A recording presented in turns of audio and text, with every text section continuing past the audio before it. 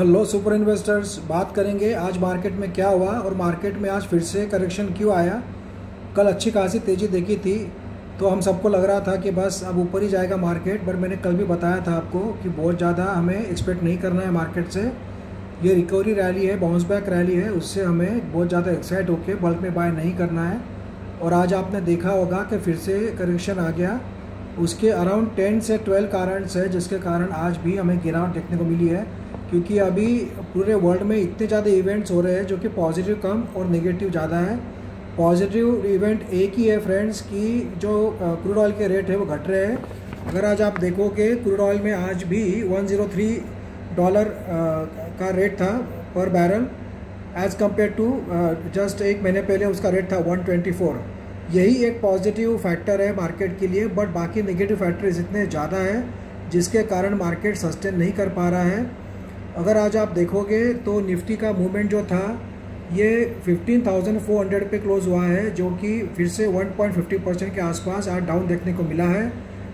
Nifty का अगला support रहेगा 15,200 वहाँ से बॉटम आउट होकर अगर बाउंस करता है तो अच्छी बात है।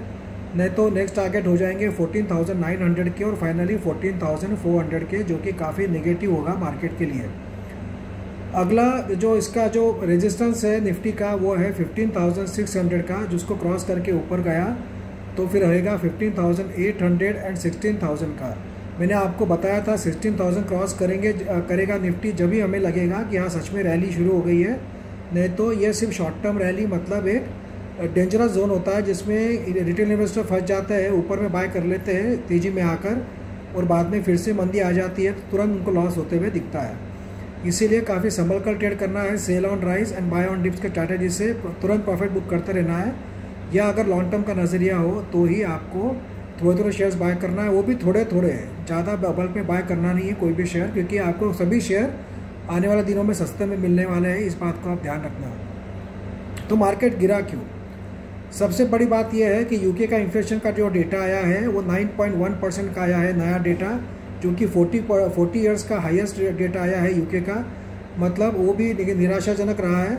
उसके अलावा जर्मन का जो जीडीपी का जो प्रोजेक्शन दिया है वहाँ के एजेंसी ने, वो 3.5 परसेंट से घटकर 1.5 परसेंट दिया है। तो वो भी एक नेगेटिव फैक्टर था मार्केट के लिए, जो कि नेगेटिव इंडिकेशन कर रहा था कि रिसेशन के तरफ़ जा रहा है यूरोप का इकोनॉमी उसके अलावा पॉजिटिव बात सिर्फ़ एक ही थी कल यूएस मार्केट इसलिए भागा था कि जो बाइडन ने अनाउंस किया है कि वो जो फेडरल टैक्स है मतलब जो वहाँ का जो सेल टैक्स है यूएस गवर्नमेंट का, वो घटाकर क्रूड जो ऑयल पे जो है डीजल पेट्रोल पे घटाने वाली है, उसके कारण इन्फ्लेशन पे कंट्रोल होने को मदद मिलेगी एंड जो बाइडन जो प्रशासन गवर्नमेंट है, वो सब ऑयल कंपनी को प्रेशराइज कर रही है कि अपने दाम घटाइए इस न्यूज़ के कारण कल यूएस मार्केट में तेज़ी थी बट वो एक ही कारण से मार्केट नहीं चलता है, काफ़ी अलग फैक्टर्स होते हैं।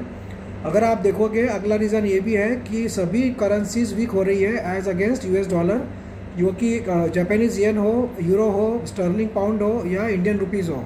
सभी वीक जा रही है, सबसे ज़्यादा स्ट्रॉन्ग करेंसी उभर कर आ रही है यूएस डॉलर उसके कारण भी मार्केट में निराशा है, क्योंकि यूएस डॉलर जितना स्ट्रांग होगा, सभी कंट्रीज़ की इकोनॉमी दिन ब दिन वीक ही होती जाएगी। उसके अलावा अगला रीज़न ये भी है कि महाराष्ट्र में जो अनसर्टिनिटी चल रही है पॉलिटिकल शिवसेना के जो कुछ एम हैं, वो उन्होंने बगावत कर दी है। रिबेल रिबेलियस मूड में आ गए वो तो सरकार गिर सकती है। इसका भी नेगेटिव इम्पैक्ट मार्केट पे है, क्योंकि महाराष्ट्र का जो इकोनॉमी है, वो भी बड़ा पार्ट प्ले करता है पूरे इंडिया की इकोनॉमी में। और कमर्शियल कैपिटल तो मुंबई है ही। तो ये सब पार्टों से, वो भी एक रीज़न था मार्केट में आज थोड़ा सा गिरावट का। और एक रीज़न अगर देखा जाए तो मिस्टर पावेल जो है, जो कि वहाँ के सेंट्रल बैंक के गवर्नमेंट है अमेरिका के वो वो दो दिन अभी एड्रेस करने वाले हैं यूएस कांग्रेस को मतलब वहाँ के संसद को, और उसमें वो क्या पॉइंट्स वो बताने वाले हैं रिफ्लेशन के बारे में और फ्यूचर प्रोस्पेक्ट के बारे में जो यूएस की इकोनॉमी के। तो उसके कारण भी लोगों के मन में डर है कि अगर इसमें कुछ भी नेगेटिव कमेंट उन्होंने किया तो मार्केट क्रैश होगा। इसके कारण भी लोग डर के मारे, ज़्यादा एग्रेसिव नहीं हो रहे हैं। प्रॉफिट बुकिंग तुरंत आ गई आज की मार्केट में। अगला रीज़न ये है फ्रेंड्स कि देखिए, आज अगर आप देखोगे तो टोटल मार्केट की बात करें एशियन मार्केट की तो चाइना मार्केट 1.20 परसेंट डाउन है ताइवान मार्केट 2.50 परसेंट डाउन है Hong Kong market 2.50 percent down है कोरियन मार्केट 2.75 परसेंट डाउन है Thailand market one percent down है जापान का market zero point fifty percent down है Europe market की बात करें तो UK market one point fifty percent down है German market two percent down है France market one point eighty percent down है तो ये Italy market two percent down है। तो ओवरऑल देखा जाए तो काफ़ी सभी जगह पे गिरावट का माहौल दिख रहा है। वो एशिया हो या यूरोप हो। जहाँ तक हमारे निफ्टी इंडेक्सेस की बात करें अलग अलग आज भी मेटल इंडेक्स में फाइव परसेंट की गिरावट है। आईटी इंडेक्स वन परसेंट से डाउन है। ऑटो इंडेक्स वन परसेंट से डाउन है। Real estate index two percent से डाउन है। F M C G one percent से डाउन है। Pharma index one point thirty percent से डाउन है। और ओवरऑल देखा जाए तो सभी इंडेक्स में हमें गिरावट देखने को मिल रही है तो ओवरऑल फिर से मंदी का माहौल शुरू हो चुका है। इसीलिए अभी आने वाले दिनों में हो सकता है मार्केट में गिरावट देखने को मिले और देखते ही देखते हमें निफ्टी 14,400 के आसपास भी जाते हुए दिखने को मिल सकता है।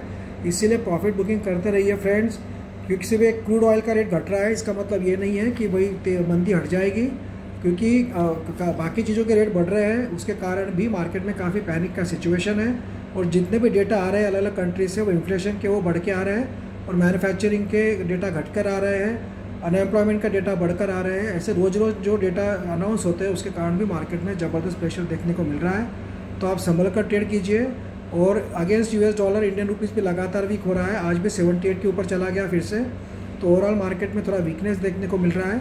और सबसे इंपॉर्टेंट बात और एक ये भी है कि जो और एक कंट्री है लुधियानिया, ये जो कंट्री जो लग के है रशियन बॉर्डर के आसपास, उसके उसके आसपास भी काफ़ी आर्मी की जो एक्टिविटी बढ़ चुकी है तो ऐसा डर लग रहा है कि जो कि नाटो का मेंबर है, उस पर अगर रशिया अटैक करता है तो ये वर्ल्ड वॉर थ्री की शुरुआत हो सकती है। ये भी इंडिकेशन आ रहे हैं। तो ये सभी फैक्टर्स के कारण मार्केट में आज गिरावट देखने को मिली है।